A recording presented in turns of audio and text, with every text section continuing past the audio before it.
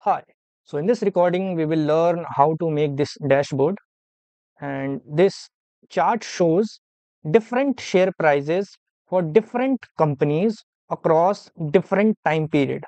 The first part is making this graph and the second part is to find out whether the share prices are overpriced or underpriced based on the returns. So I will be giving the timestamp. You can watch directly how we find this or if you want you can just watch how we made this graph. So let's begin. So we are given with this data and in the first step we want to make chart for share prices of different companies. So first step is let me take the data.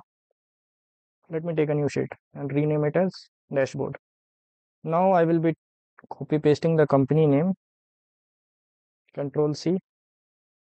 Control alt V and I will transpose them. Why I will know you in a while? I'm giving them unique IDs 1 2 now I will be merging these cells so that it can look static I will go to data under data validation.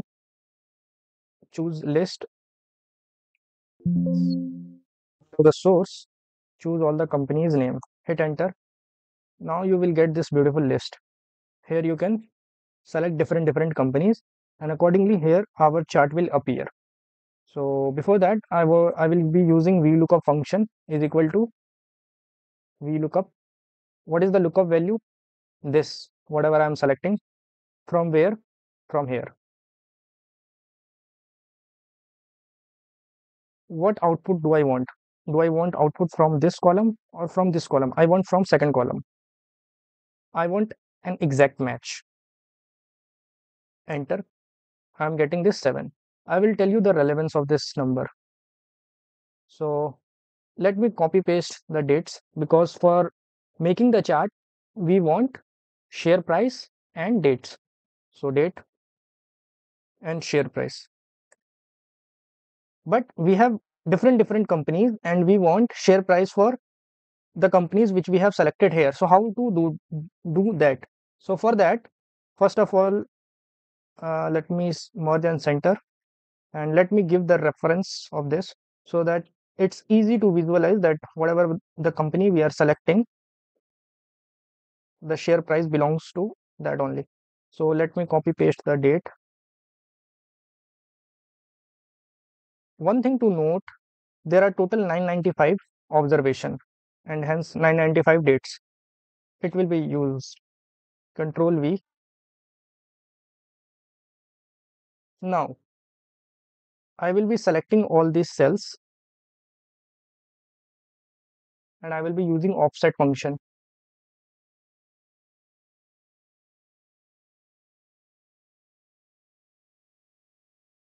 Is equal to offset. What is the reference? So i will go to share price sheet. Then my reference is date first date. And then it is asking me how many rows? Offset function is for jumping. How many rows do i want to jump? I don't want to jump in any row. I want to be in the same row hence 0 now it is asking me how many columns do i need to jump? Now come back to dashboard and select this vlookup output why i will let you know. And what is the height? Height is this is asking for the output. What is the output height? This is nothing but 995 because there will be 999 995 share prices. And what is the width? Width is 1 only. Close the brackets and control shift enter. So this is what so basically what has happened when we used vlookup function vlookup gave us this number this 14 15 whatever so if we come to this share price and if this cell is our reference point then this is column 1 this is column 2 this is column 3 hence we are getting this beautiful changes here. So if i just change the company's name see automatically share prices are changing. And now it's very simple. Just go to insert line chart. It has automatically de detected it but go to select data edit. Yeah. If it has not selected then let me do how how to do it manually. In the series name just select this. Sorry. So first of all series value is this share prices. And in the series name select this. Okay. And on the horizontal axis I want dates to appear. So okay. See now you will be changing the company name and you will be getting different different graph showing share prices for different companies over the period of time. So now next task is to check whether the share prices are underpriced or overpriced. Let's see how to do that. To determine whether the share prices are overpriced or underpriced, first of all, we need to check whether the company is giving uh, returns which are more than average or below average. And uh, we can take the help of CAPM. CAPM is nothing but capital asset pricing model. And if the average returns are coming out to be greater than CAPM, then we will see our shares are underpriced. And if it is less, then we will be seeing these are overpriced. So let's do it. Take a new sheet. Uh, let me rename it and rename it as share return. Share returns. And similarly, what we can do, we can just copy paste first of all I have copy pasted all the dates and company names. Then I will be copy pasting the dates.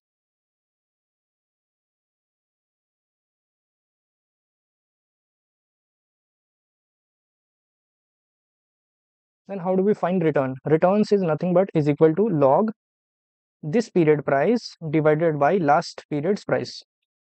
So this period divided by last period. Hit enter double tap and we are getting the share return for all the different time periods. We will simply drag this in this direction so that we can get share returns for all the companies. Now what we will do we will just double tap for all the companies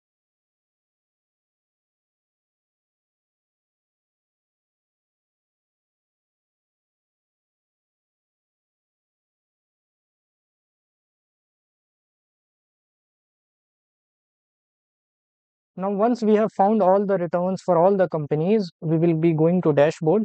And here what we can do is we can make another column for share return which will correspond to the company which we have selected share return. And then what is the market return? Basically the nifty return. So what we can do is equal to we will again be using offset function offset what is the reference? This time the reference is from here. Maybe we can take how many rows do i need to jump? I will be saying one. This time i don't i don't want this because this is empty. I want this. So one what is the column? We will be taking vlookup output. What is the height? Height if you observe last time it was 995 this time it will be 994 because we are getting one less. And what is the width? Width is one only so control shift enter. So this we have got for one. If we simply drag it this won't work. So what first of all we have to select this array complete array then only we, we will be applying the offset function.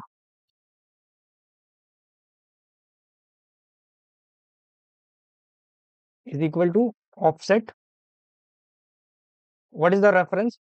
We can directly give reference this I don't want any jump in the rows. What is the column? Column is whatever the VLOOKUP is giving me. What is the height? Height is 994. What is the width? Width is 1. Clo close the bracket, control shift enter. Now, this is the share return which we have got. And what is the market return? Market return is this here. control alt v as values I am pasting it. So now let me check whether the share returns are changing or not. Yes it is working fine. Now let us merge them and give reference this only. Now what is the minimum share price? What is the maximum share price? And we can find the slope average return. Normal return. Normal return is nothing but CAPM only. Or I should be writing CAPM only. Then risk free return. Maybe whatever I'm getting in FD risk free return and market return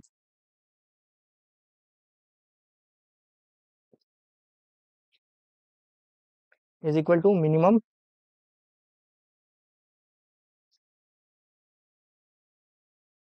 is equal to maximum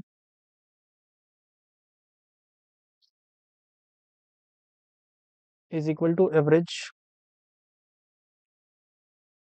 average of return.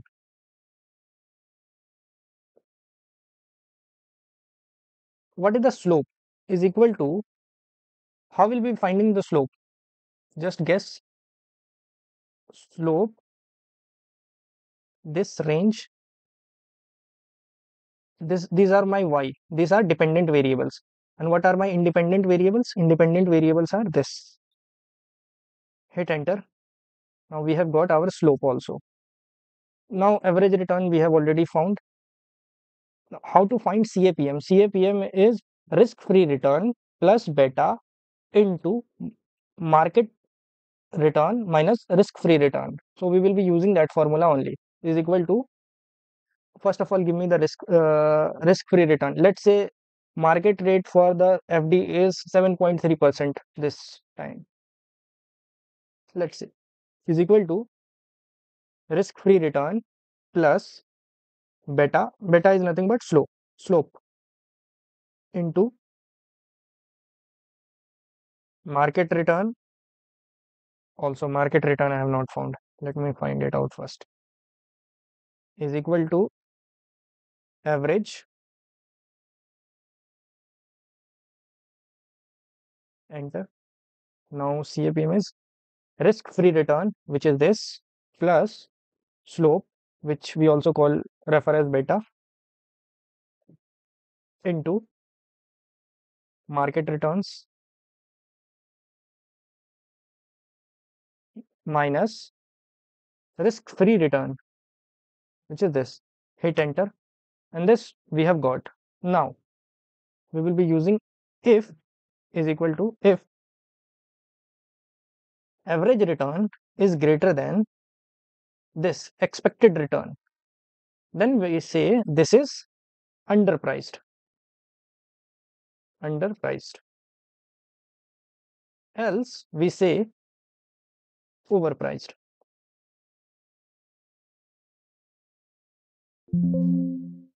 so I have missed the bracket. So oh sorry I have missed the double colon. Now we can do the coloring. We can go to home.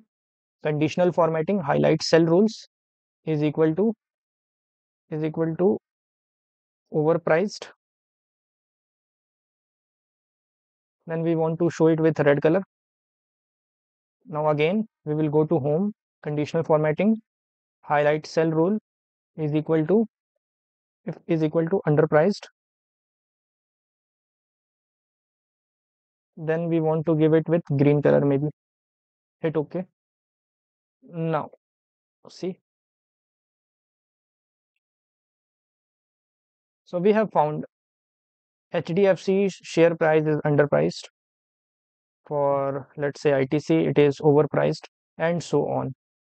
So I hope you have understood. Thanks